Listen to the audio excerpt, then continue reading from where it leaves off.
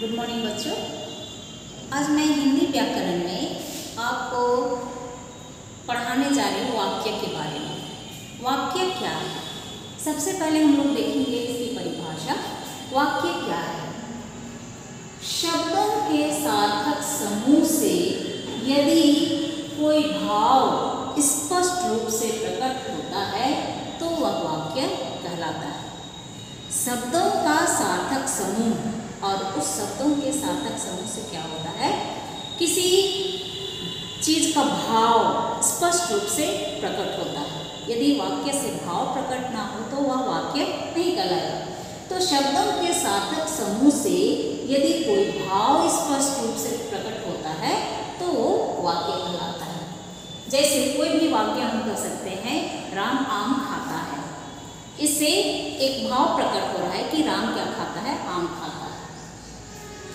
वाक्य को जानने से पहले हम लोग देखेंगे वाक्य के दो अंग होते हैं। दो अवयव होते हैं, दो अंग होते हैं। कौन कौन है वे दो अंग? उद्देश्य और विधेय वाक्य के दो अंग होते हैं, उद्देश्य और विधेय उद्देश्य क्या है? किसे उद्देश्य कहते हैं? वाक्य में जिसके विषय में कुछ कहने के लिए जिन शब्दों का प्रयोग कहा जा किया जाता है, उसे उद्देश्य कहते हैं। वाक्य में जिसके विषय में कुछ कहा जाए, जिसके विषय में कुछ कहा जाए तो जिसके विषय में कहा जाए, और वह शब्द क्या कहलाता है? उद्देश्य कहलाता है। जैसे हम उदाहरण के लिए हम लोग देखेंगे यहाँ, आत्मा अमर है यहाँ पर हम देख रहे हैं आत्मा अमर है एक वाक्य है और इस वाक्य में उद्देश्य कौन है? आत्मा।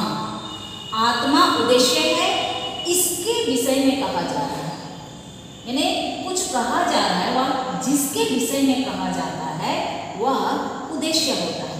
यहाँ किसके बारे में कहा जा रहा है? आत्मा के बारे में कहा जा रहा है। इसलिए आत्मा शब्द जो है, वह यहाँ पर उद्देश्य हो तो हम लोग देखेंगे कि जिसके विषय में कुछ कहा जाए वो उद्देश्य होता है।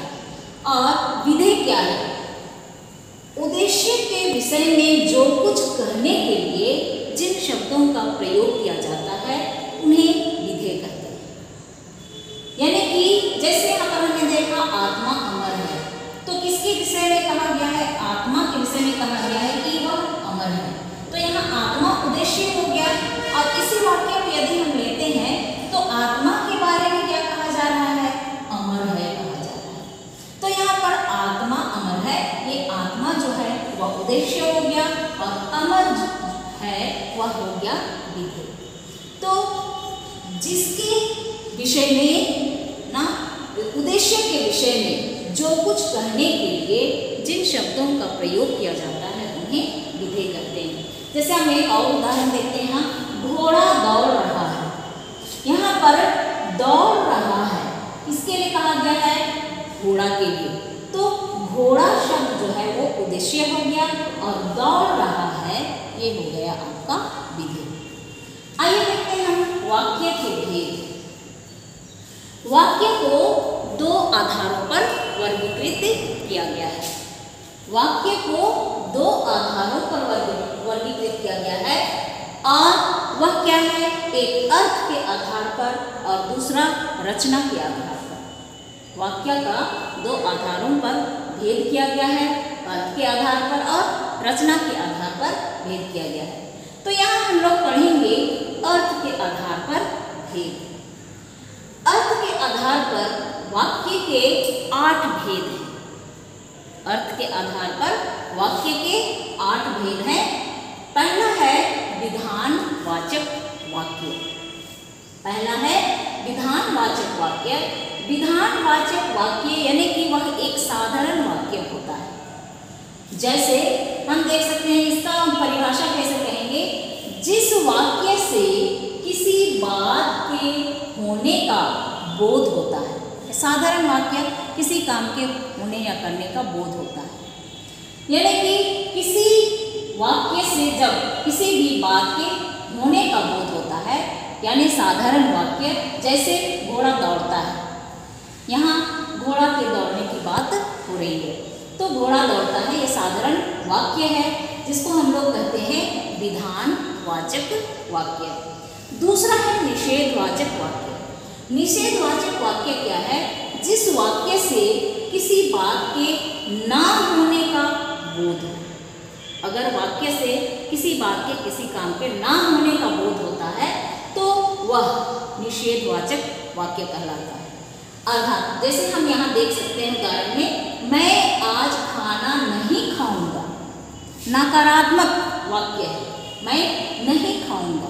नेगेटिव सेंटेंस तो यहाँ नहीं शब्द के द्वारा पता चल रहा है कि यह क्या है। निषेध वाचक वाक्य है। निषेध का अर्थ ही होता है नहीं या नकारात्मक। उसके बाद हम देखेंगे तीसरा आज्ञावाचक वाक्य। आज्ञावाचक वाक्य किसको कहते हैं?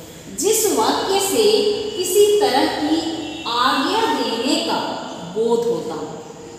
किसी वाक्य से यदि किसी तरह का आज्ञा देने का बोध हो रहा है तो वो कहलाता है आज्ञावाचक वाक्य। जैसे, जाओ जाकर सो जाओ। क्या कहेंगे हम लोग? आज्ञा दे रहे हैं। बच्चे को, किसी को भी आज्ञा दे रहे हैं, जाओ जाकर सो जाओ। तो ये आज्ञा देने वाली बात आ गई। तो इस प्रकार के वाक्य कहलाते हैं आज्ञावाचक वाक्य। चौथा है प्रश्नवाचक वाक्य। प्रश्नवाचक वाक्य क्या है?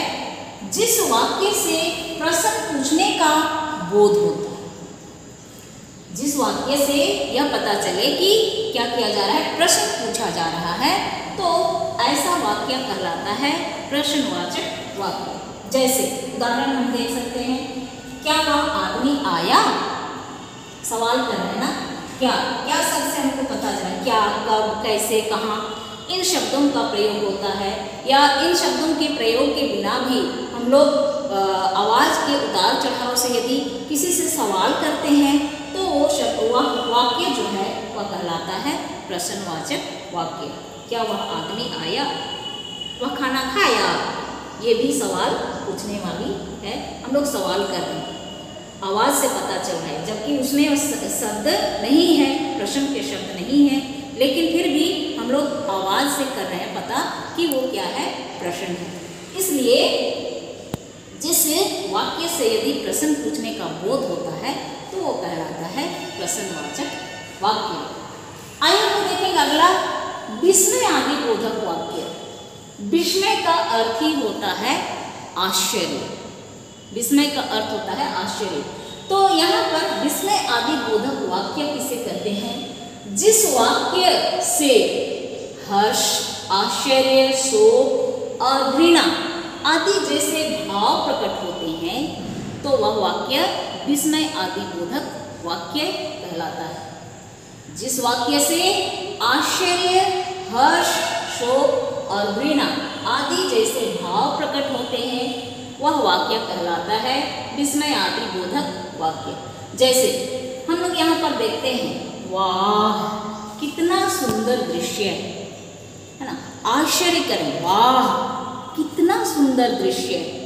तो ये है क्या आश्चर्य प्रकट हो रहा है। उसी तरह से हर्ष के लिए भी, मैंने खुशी के लिए भी कुछ शब्दों का प्रयोग करते हैं या वाक्य का प्रयोग इस तरह से करते हैं कि उससे खुशी ज़ाहिर होती है तो वो वाक्य कहलाता है क्या?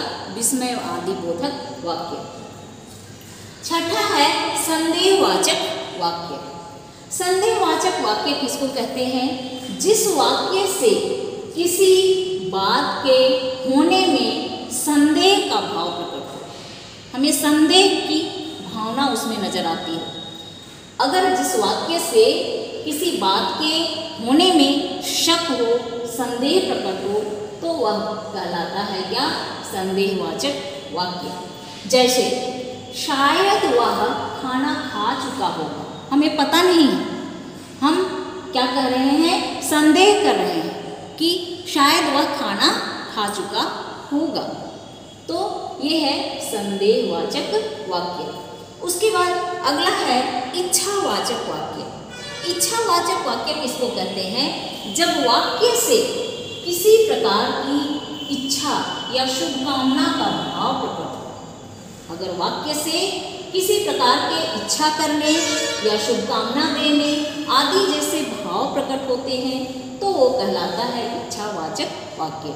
जैसे हम किसी को शुभकामना देते हैं, ईश्वर तुम्हें सुखी रखे, है ना? ईश्वर तुम्हें दीर्घायु बनाए तुम्हें सफलता मिले। ये हम लोग क्या करते हैं? इच्छा करते हैं, कामना करते हैं, शुभकामना देते हैं। तो इस तरह से जो इच्छा हम किसी के लिए करते हैं, किसी चीज़ के लिए करते हैं तो वह वाक्य क्या कहलाता है? इच्छावाचक वाक्य कहलाता है। जैसे हम उदाहरण यहाँ लिखे हैं, ईश्वर तुम्हें सुखी रखे। हम कामना कर रहे हैं, इच्छा कर रहे हैं। तो ये वाक्य है, इच्छावाचक वाक्य। अंतिम है संकेतवाचक वाक्य। संकेतवाचक वाक्य किसको कहते हैं? जब वाक्य में एक वाक्य दूसरे वाक्य की संभावना पर निर्भर करता है। यानी कि एक वाक्य दूसरे वाक्य के बिना पूरा नहीं होता है, अधूरा लगता है। तो एक वाक्य दूसरे वाक्य पर निर्भर होता है। तब उसको कहते हैं क्या? संकेतवाचक वाक्य। जैसे उदाहरण हम देख सकते हैं, यदि वर्षा होती तो खेती अच्छी होती, ना? खेती अच्छी नहीं हुई, अच्छी नहीं हुई तो उसके लिए हम क्या कहते हैं, अगर अगर वर्षा होती या यदि वर्षा होती तो खेती अच्छी होती। तो यानी कि खेती अच्छी होने के लिए एक वाक्य क्या है, ये दूसरे वाक्य पर निर्भर है, ना? ये वाक्य जो है, इस पर निर्भर तो एक वाक्य दूसरे वाक्य पर क्या होते हैं? निर्भर होते हैं। एक वाक्य पूरा होने के लिए दूसरे वाक्य पर निर्भर होता है। तो उसको कहते हैं संकेतवाचक वाक्य। यदि वह आता तो मैं चला जाता। यदि वह आता तो मैं चला जाता। लेकिन वह आया नहीं, इसलिए मैं नहीं गया। ना पूरा नहीं तो यदि वह, अगर वह आता तो मैं जाता। तो इस तरह से ये इस प्रकार के वाक्य जो हैं, वो संकेतवाचक वाक्य कहलाते हैं। बच्चों, आज के लिए इतना ही। धन्यवाद।